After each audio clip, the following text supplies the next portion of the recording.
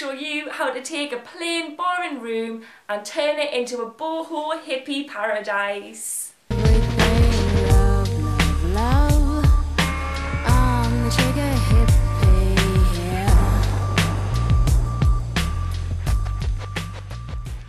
So the first thing I did was I got some like beads on strings from just a craft store and I hung those in the window. Dun, dun.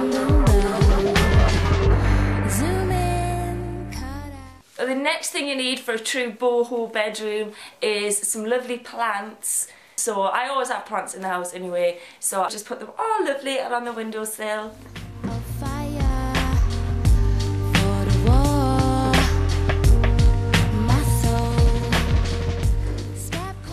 Now the next thing you've got to have for a boho pad is throws.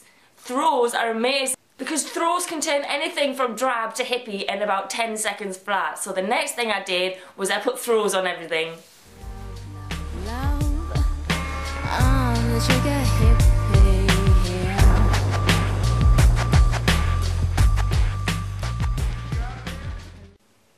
Then I added loads of cushions.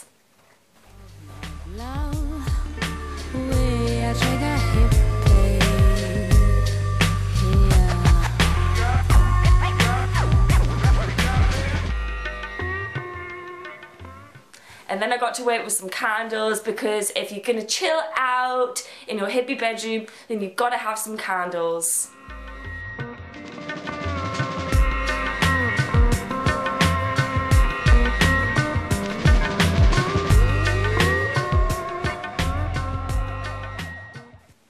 And incense, don't forget the incense.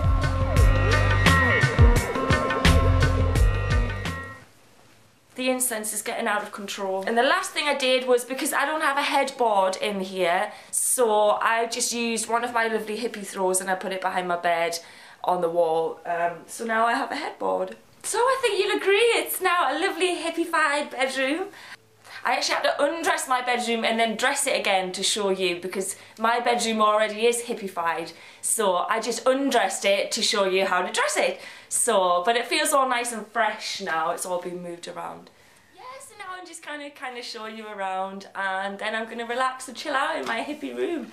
Thank you so much for watching. Please do click subscribe on your way out and I shall see you next time. Mwah! Love you. See you later. Bye.